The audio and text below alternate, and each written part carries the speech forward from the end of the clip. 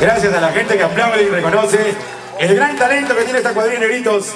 Los Rucanas